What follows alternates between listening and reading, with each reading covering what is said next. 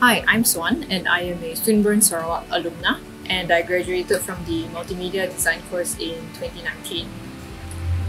Um, I'm very grateful for the timing of my graduation because I was actually the last batch to be able to attend a graduation ceremony before the pandemic. Uh, and I'm also very happy to have come out of a university that supports the Sustainable Development Goals, the SDGs, um, actively exposing the community to a range of sustainable practices. Currently, I run a creative tech studio based in Kuching called Control D Studio. Um, I co-founded this with my partner who was actually also in my final year project team. And currently our studio explores, um, curates and develops uh, creative projects with a touch of interactivity such as games. Uh, and that allows us to create more valuable and immersive storytelling experiences. So speaking of games, uh, my studio actually created the award-winning augmented reality mobile game Anno Journeys Through Tattoos. So we had several units that included class outings for things like photography and um, discovering culture, discovering and learning about culture and heritage throughout Kuching City.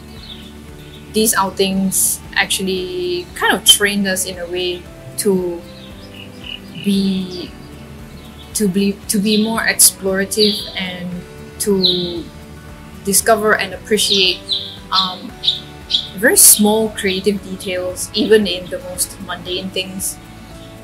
And these outings were so much fun that um, before you know it, my friends and I actually organized our own outings to get out there and really discover more of what um, our city has to offer. It was my final year project that really pushed me out of my comfort zone.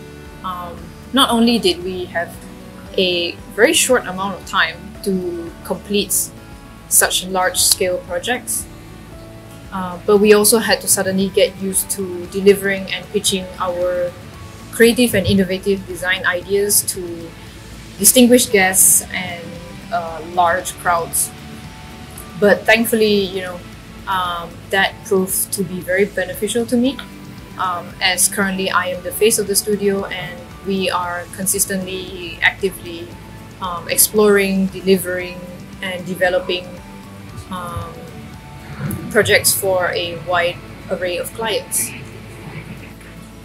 To any students who are watching this, as cliche as it may sound, um, remember to put all your effort into your studies, your assignments, um, work hard, and really make the best out of your final year because opportunities can really come from anywhere. And to everyone watching this, um, remember to get vaccinated and continue to stay safe.